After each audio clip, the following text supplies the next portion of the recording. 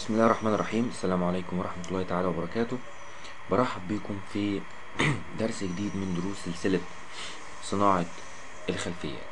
النهاردة إن شاء الله هنتكلم برضو على effect ال Fractal Noise وهنعمل بيه خلفية مشابهة للخلفية دي. الخلفية دي يعني آه نقدر نقول إنها شبه ال- الستاير شوية. إزاي نقدر نعمل effect زي ال- ال effect اللي إحنا شايفينه ده المحاكي لل curtain أو المحاكي ليه؟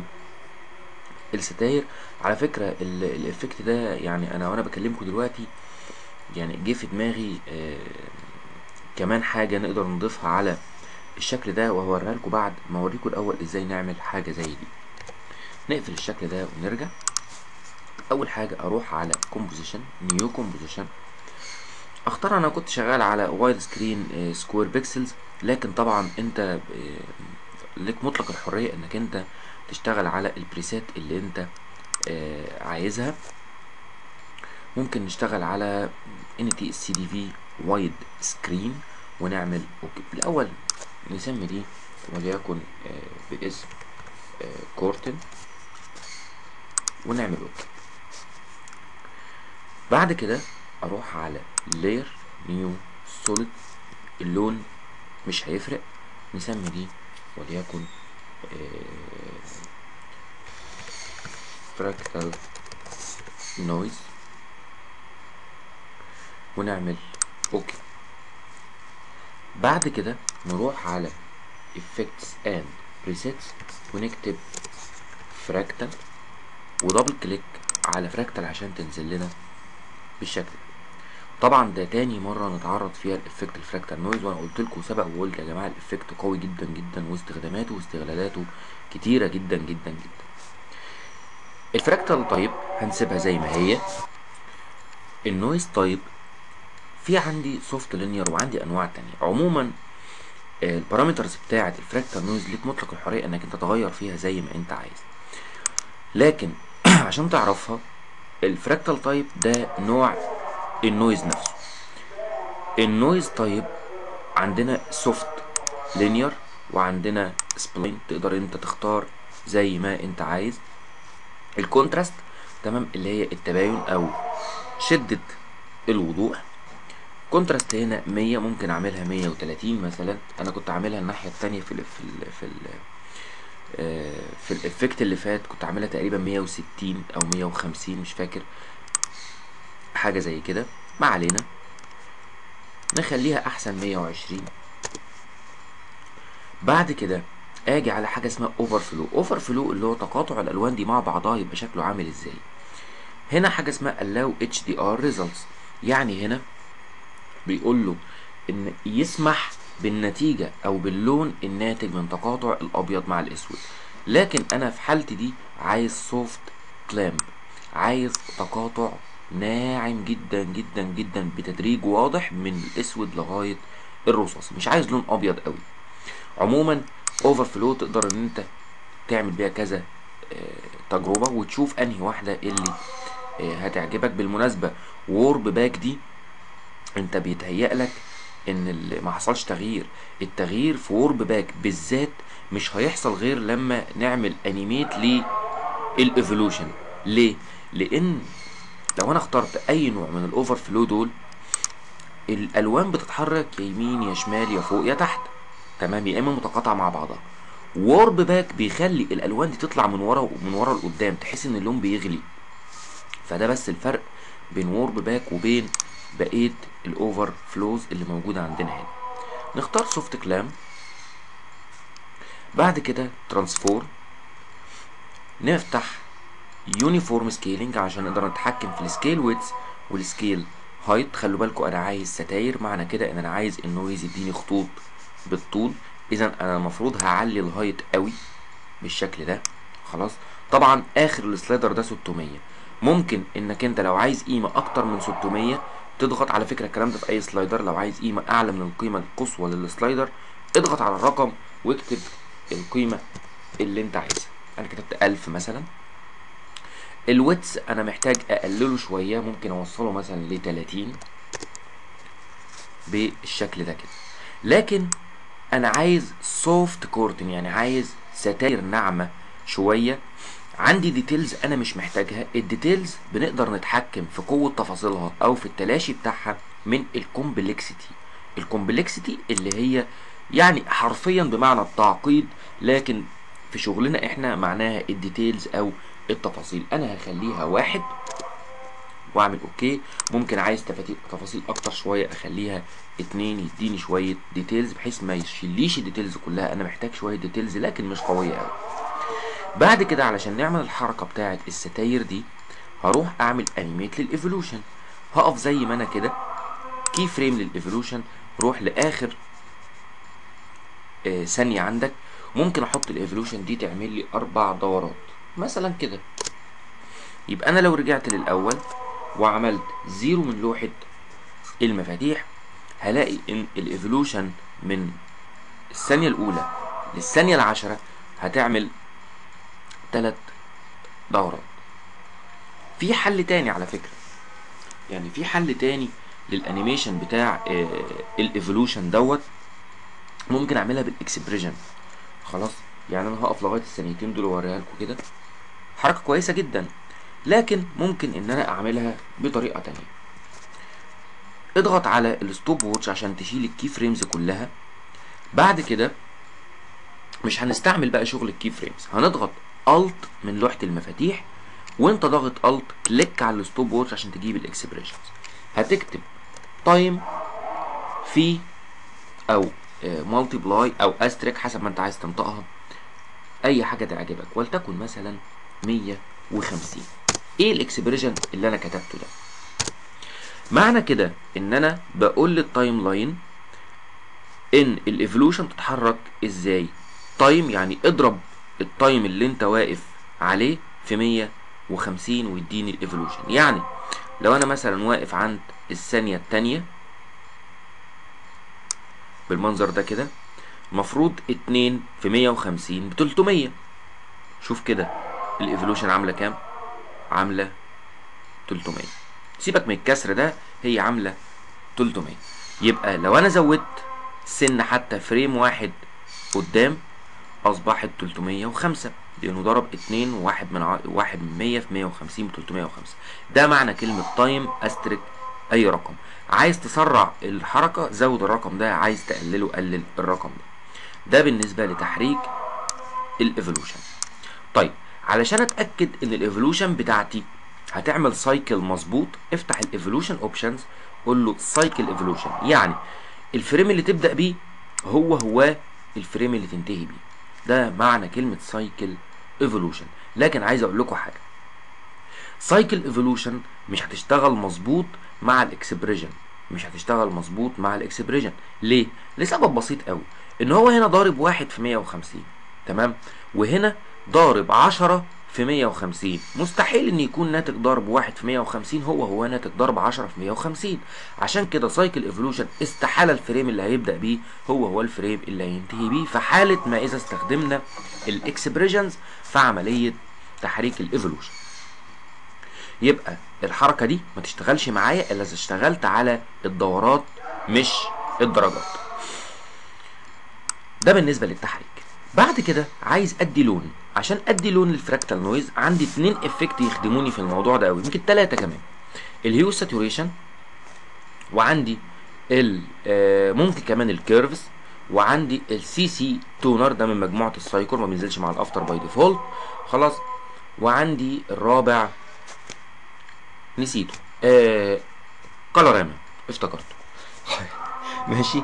يبقى إحنا نيجي على ال fractal نكتب CC Toner double click على CC Toner حلو قوي CC Toner اسم جميل على فكرة. نيجي على ال midtones. ال highlight ده بيتحكم في الايه؟ في اللون اللي في المناطق الفاتحة. ال midtones اللون المتوسط اللي بين الفاتح والغامق. ال shadows واضح من اسمه اللي هو الألوان الغامقة. نضغط على ال midtones. شوف اللون اللي انت عايزه للستارة يبقى شكله عامل إزاي. أنا مثلا في المرة اللي فاتت اخترت لون أحمر هختار المرة دي لون يعني مش عارف اللون ده لونه إيه بس هو لون حلو يعني. نعمل okay.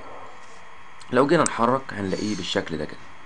هي مين في, في يعني في ناس تقول لك كويسة لكن أنا يعني عايز أعمل تكاية صغيرة.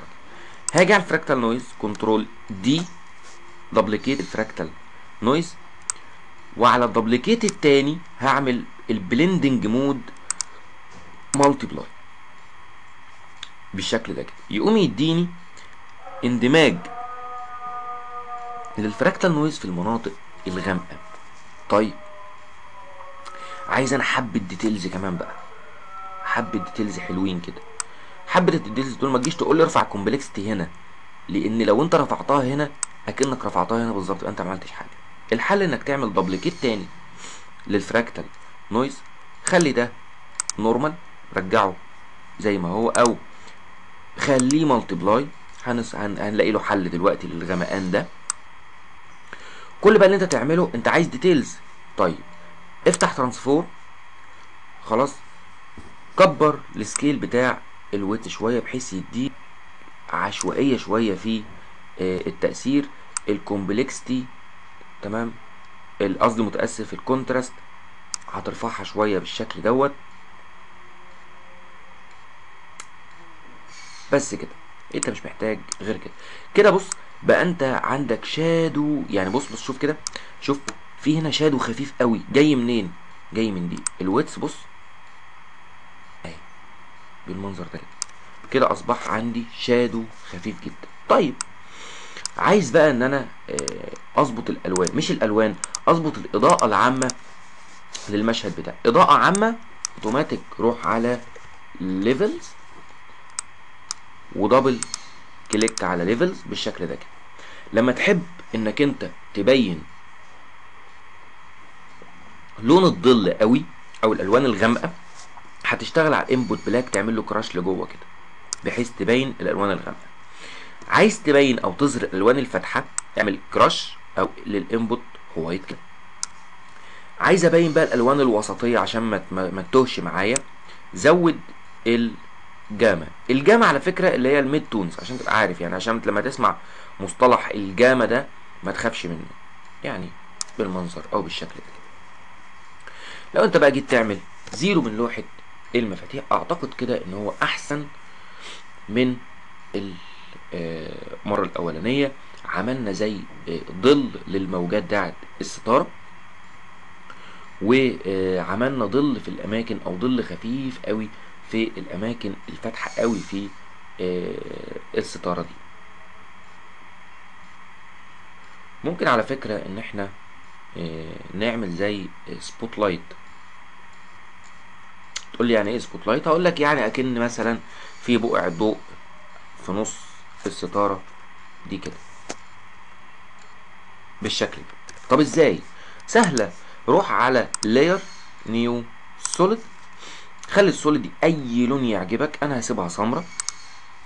بعد كده روح على أداة ال mask أنت غالبا هتلاقيها rectangle tool تنيك ضاغط عليها واختار ellipse tool double click على ال ellipse tool بعد كده M M عشان تجيب خواص ال mask.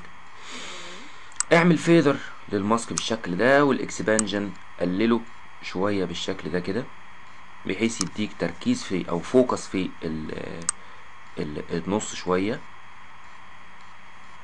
بالشكل ده. بعد كده ال mask method بدل ما هي add هتبقى subtract بالشكل اللي إحنا شايفينه ده. عايز تزود ال feather زوده بالمنظر ده. ممكن كمان لو انت عايز يدي شكل أحسن ممكن تخلي ال mode overlay بحيث يبقى فيه مناطق فاتحة في نص ال spot كده. ممكن تخليها color burn خلاص بحيث يدمج يعمل blend للأسود مع الألوان اللي تحته خصوصا في المنطقة بتاعه ال feather. لكن أنا شايف وليا يعني وجهة نظر إن ال overlay خلاص أحسن بحيث تديني حتت فاتحة في المناطق اللي بتاعه ال feather في المناطق الفاتحة فقط لا غير. لو أنا عملت zero بقى من لوحة المفاتيح عشان أشوف ال effect بتاعي شكله عامل إزاي هنلاقيه بالمنظر اللي إحنا شايفينه دوت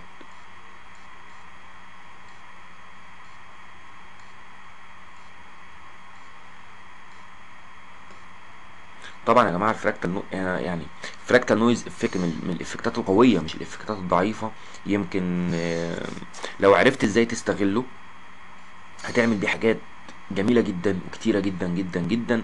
بصراحة أنا مش عارف أحصرها يعني حاجات كتيرة قوي أنا عملتها خصوصا بال fractal noise آه، وإن شاء الله يعني هحاول إن أنا آه، أمرنكم عليه كتير لأن هو تقريبا أنا هعمله لكم في كل الخلفيات. يعني على ما أفتكر آه، يعني أنا في في دماغي كذا حاجة كده هعملهم بال fractal noise. حتى لو ما نفعتش بال fractal noise هحاول إن أنا أعملها برضه بال fractal noise. آدي الشكل اللي إحنا عملناه. طب آه، ده شكل. طيب تعالوا نعمل duplicate لل curtain دي و double click عليها كده. خلاص عشان هعمل منها حاجة تانية. الأول هشيل ال- ال solid بتاعة ال vignette. أنا مش محتاجها.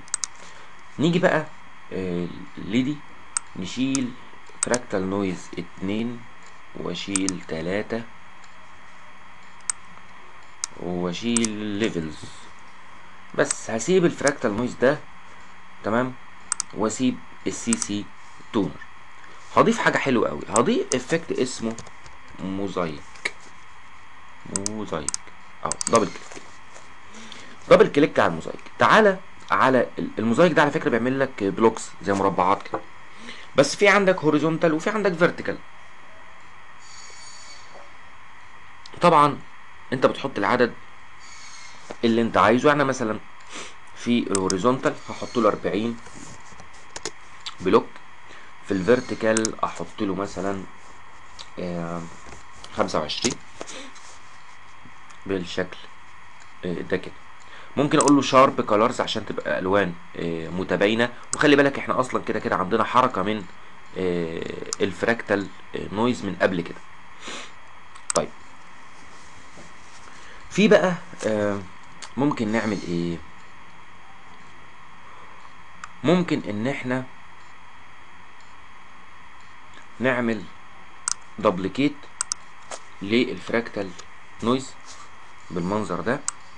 ونخلي وبرضو آه، نزود أو نرفع ال contrast بتاع ال duplicate ونرفع ال bright أو نقلل ال bright بتاعه. نخلي ال overflow clip بالمنظر ده كده ال contrast نقللها شوية.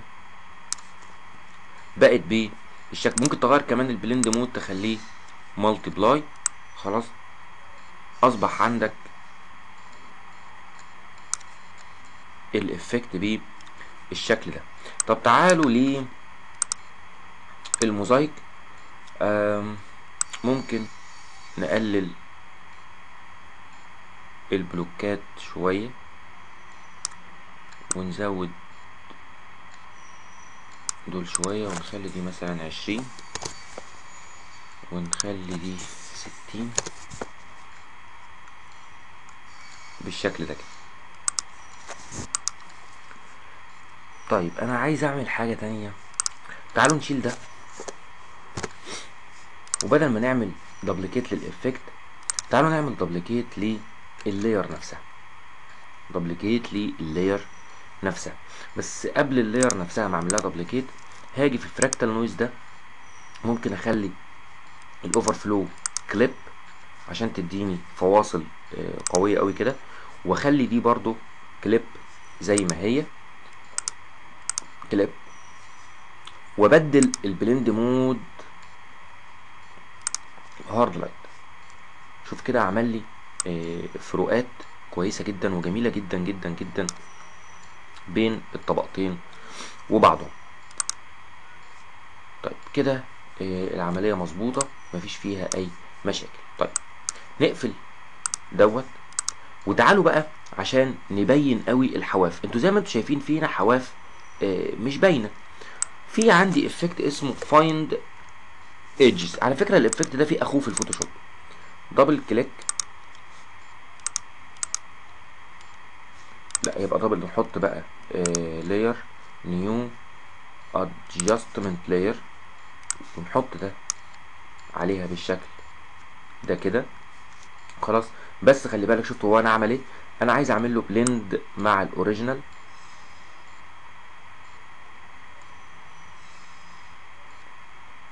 بالشكل دوت كده.